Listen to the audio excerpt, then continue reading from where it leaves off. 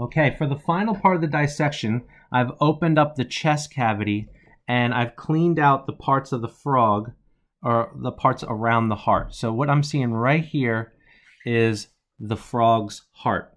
And one of the things I can see when I look at the frog's heart is I have this harder, more muscular looking part at the bottom that's light colored. Then I have these darker colored regions up here. I have one chamber over here and I have a second chamber on this side right here. And then what I'm seeing right here, if I use my forceps, I can kind of squeeze it right here. This is the um, blood vessel that's leaving the heart. So I have a blood vessel right here, and then I have a dark, soft chamber here, and another dark, soft chamber here, and then a light colored, harder chamber. So you are going to be asked to dis- to figure out which one is going to be for pumping and which one is going to be for collecting. So the one that's going to be for pumping is going to be this bottom one right here.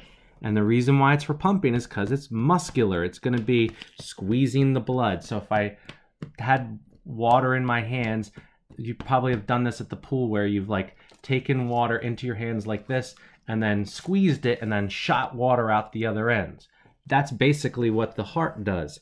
That part there squeezes blood and it shoots out into here.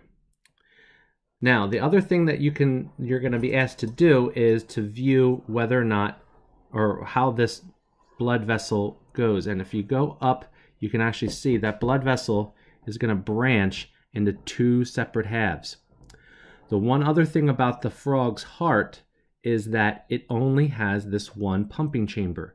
You all have two pumping chambers, one that's going to pump to the lungs and one that's going to pump to the body because the frog is only pumping one through one blood vessel, one of those sides goes to the lungs and one of the sides goes to the body.